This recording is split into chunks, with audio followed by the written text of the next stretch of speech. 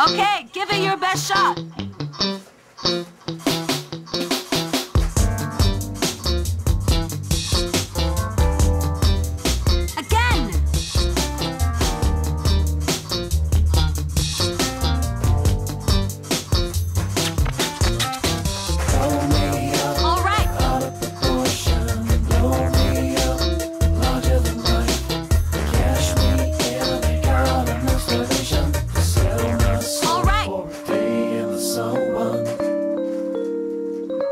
All